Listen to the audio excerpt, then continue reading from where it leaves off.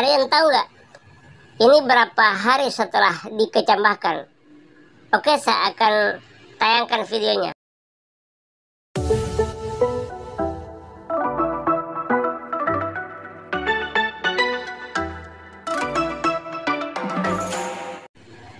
Nah, sebelumnya saya mau cerita nih.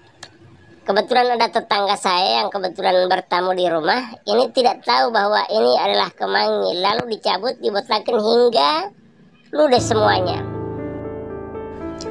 Nah, kalau segini teman-teman setelah dikecambahkan ini usianya tiga hari.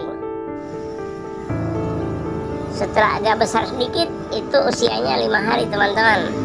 Jadi tolong diperhatikan Jikalau Anda mengecapkan kemangi lalu sudah ada tumbuhan seperti ini, ini adalah kemangi.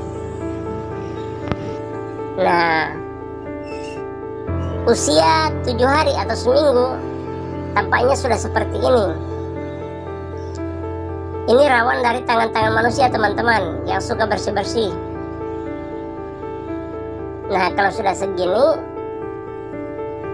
sudah mulai nampak bahwa aromanya sudah tercium bau khasnya pasti ada.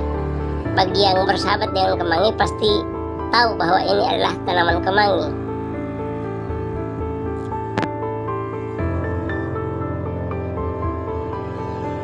Nah setelah itu setelah uh, kita pelihara dengan usia 25 hari sampai 30 hari ini sudah layak untuk ditanam.